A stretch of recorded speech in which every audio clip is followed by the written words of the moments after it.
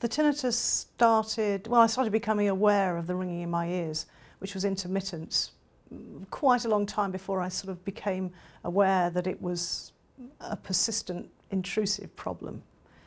Um, so I, would have the ringing and it would then go away and I didn't think anything of it. Um, but the, there was, well, I, I, I, can name the incident. I was flying back from a flight to Switzerland um, and I got off the flight, it was very late at night and my tinnitus, the ringing in my ear, just from that point on seemed never to stop. Well, I would say as it went on, it, it, had more and more of an impact and, and in some ways that was the reason for seeking treatment because I, I felt, first of all, that it, it was a, a, an uncomfortable noise. I mean, having a persistent noise is not necessarily in its own right a bad thing, but this felt hard and intrusive. And not being able to get rid of it, particularly when you're trying to go to sleep or when you're tired or when you're stressed. The other part of my life that I found it really interfered with was um, being able to sleep. So it was if I'd wake up for any reason or got disturbed in my sleep for any reason, um, I'd find it very hard to go back to sleep. And so, you know, months and months of sleep deprivation plus this sort of general anxiety which was building up made quality of life pretty, pretty down, really. It's a bit like, I suppose the analogy would be you know, someone in chronic pain, where you just, uh, it's so much worse, not because the pain is particularly bad, but, but it's the, the knowledge that it's never going to, never going to end. As opposed to, you know, pain from an operation or childbirth pain, you know it's going to come to an end. And so it might be painful, but it becomes a lot more bearable. And that's the analogy I draw with the tinnitus.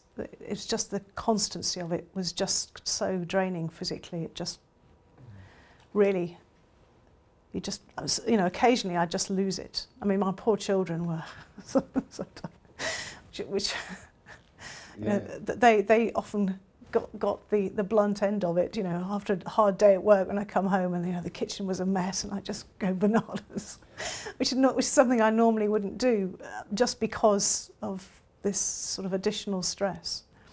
I chose this particular route because it had a scientific basis. So, I mean, I, I'm a scientist, so I have access to all the scientific literature. So I started Googling tinnitus to basically see if there's anything out there. And I came across a Nature paper where there was some preliminary animal experiments which suggested that tinnitus could actually be, be modulated or treated. So I thought, well, this is interesting. And, you know, as a scientist, there's, there's so many quack treatments out there, you know, therapies and, you know, herbs. And you, you, you go on the websites and you see all this stuff and you just know that it's, it's somebody making a lot of money.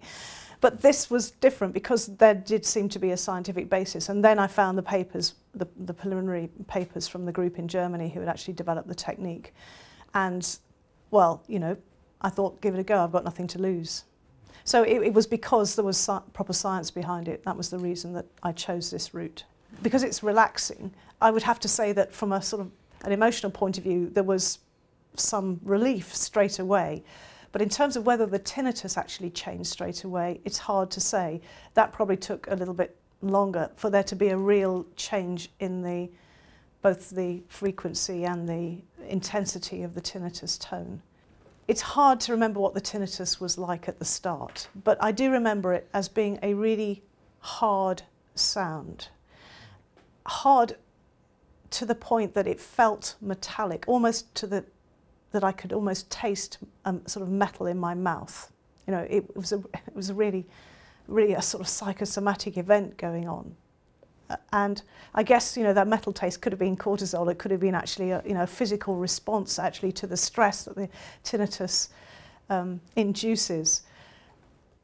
So I, I don't have that anymore. And that's something that went within the first few weeks of, of, of the treatment. That sort of really in, invasive, sort of all in well overwhelming um, physical side effects of the tinnitus.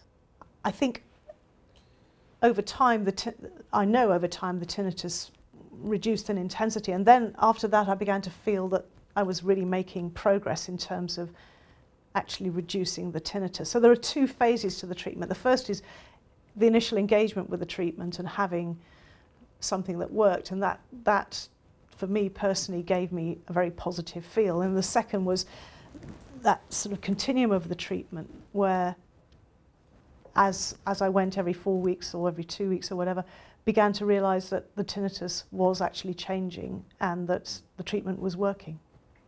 My sleep is definitely much better. So when I first came for the treatment, I was probably waking up eight, nine times a night.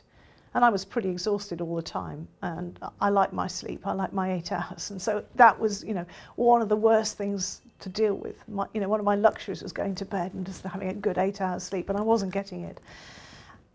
So that was the thing that I noticed changed most and changed fastest was was that ability to sleep better not wake up so often, and if I did wake up, not lie awake listening to the tinnitus, but being able to go straight back to sleep. So that was that was brilliant, and then being able to concentrate at work as well. Um, you know, I felt because I, I was having difficulty doing the jobs where you have to sit quietly and think and read. That was what was getting hard, and that's a big part of my job and you know success in terms of my profession. And that was something that, that tinnitus really disrupted. And I got back the ability to sit quietly and read and concentrate and actually focus on what was on the paper and not what was the noise that was going on in my ear and in my brain.